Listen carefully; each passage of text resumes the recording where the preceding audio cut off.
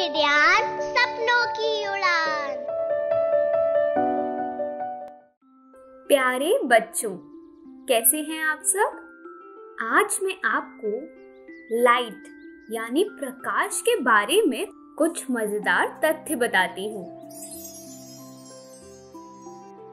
क्या आप सब जानते हैं, पृथ्वी पर प्रकाश का हमारा मुख्य स्रोत सूर्य से आता है।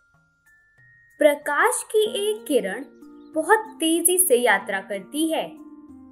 अंतरिक्ष में लाइट की गति लगभग 300 मिलियन मीटर प्रति सेकंड है।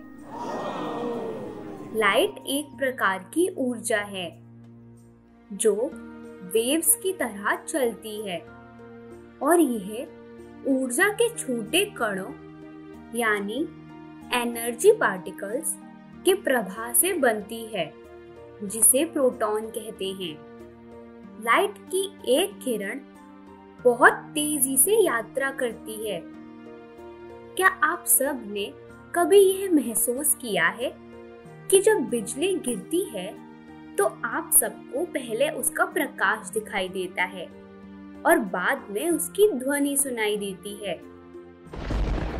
यह इसलिए होता है क्योंकि लाइट से तेज और कुछ भी यात्रा नहीं करता। ध्वनि भी नहीं। सूर्य से पृथ्वी की ओर 93 मिलियन मील की दूरी तय करने में प्रकाश को केवल 8 मिनट का समय लगता है।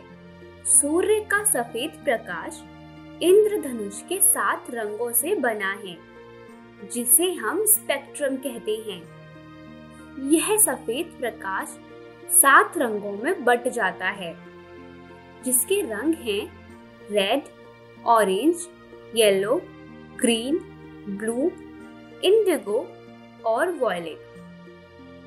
यदि हमारी पृथ्वी में वायुमंडल नहीं होता तो आप अनुमान लगा सकते हैं कि क्या होता।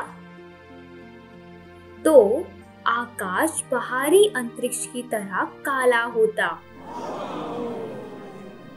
हम दिन में भी तारे देख पाते। जैसे अंतरिक्ष यात्री अंतरिक्ष में तारे देख पाते हैं।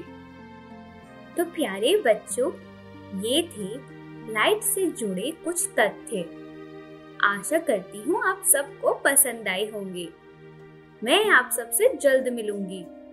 तब तक के लिए आप सुनते रहिए किडियान, सपनों की उड़ान।